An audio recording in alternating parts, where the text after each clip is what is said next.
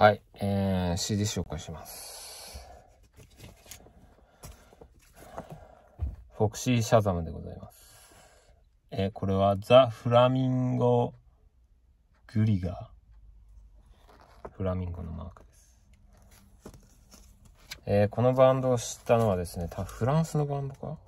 フレンチって書いてある。えー、これ20年ぐらい前の話になるんですけど、その時ですね、結構変わったインディーズ系の変な音楽いろいろ探してまして、えー、ネットでなんかいろんなサイト見て探したんですけど、で、毒をウッピー掲示板っていうのがあって、もう今だと考えられないんですけど、そこでいろんな音楽を皆さん自由に、えー、拾拾ってじゃねえや、アップロードして、それをみんなタダで拾うみたいなのがえー、流行ってまして、で、まあそれ、今は全然良くないですけど、そういうのあげるのも良くないし、でその中で結構油だことか知ったりしたんですけど、その中で、たまたま見つけたのが、このフォクシー・シャザムのこの2曲目なんですけど、ノー・ドント・ショットっていう、えー、曲がありまして、これが入ってたんですけど、むちゃくちゃかっこよくて、で、未だにその衝撃を忘れられないというか、ただ、その、何者かが全然わからなくて、その、パソコンあったんですけど、まだその、調べる力も、つても、気力もなかったんで、あすげえバンドがいるんだなって、最初日本人なのかなとも思ったんですけど、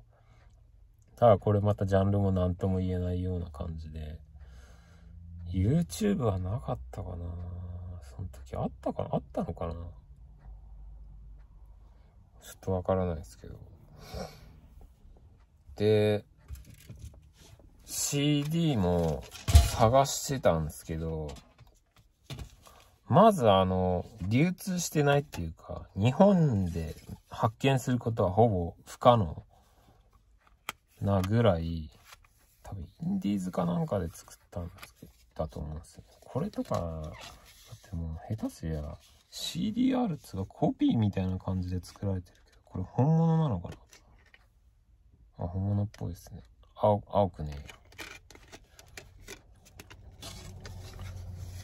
で、まあ、これどんなバンドかというとですね、まあ、あの、激しい、ちょっとパンクっぽいんですけど、キーボードみたいなの入ってる、あの、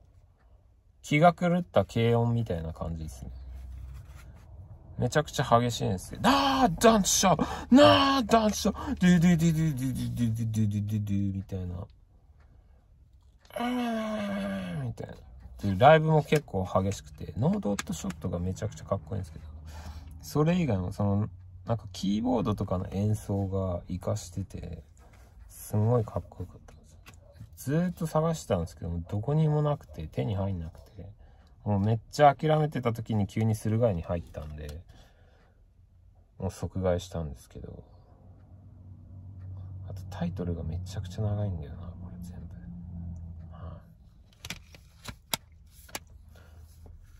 で、これ、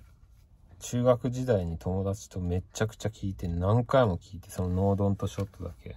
面白い曲だっつって、もう興奮して聴いたんですけど、ただそれ以外の曲っていうか CD が手に入らなくて、まあ、気がつけばなんかその熱も冷め、もう忘れてたんですけど、こうして手に入れることができて、俺はすごい感動しているんですけど。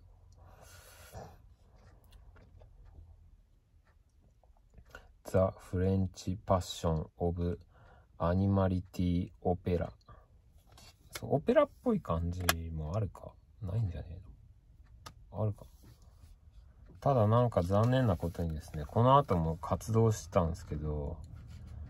ポップでキャッチすぎて、ちょっとダメだなと思って聞くのやめたんですね。これだけがなんか結構、結構な神曲で。これが最初で最後っていう感じもしないでもないですけど。はい。フォクシーは、狐だと思うんですけど、シャザムってなんだろう？ググんなきゃわかんない。あと、ボーカルの人がめちゃくちゃ、なんか、絶叫してやってるんですけど、超かっこいいです。てかメンバーがみんなかっこいい。あとなんか地下のライブハウスの中で演奏してるのがあるんですけど、それもすごいかっこいいです。えー、フォクシー・シャザムの No Don't Shot おすすめします。終わりです。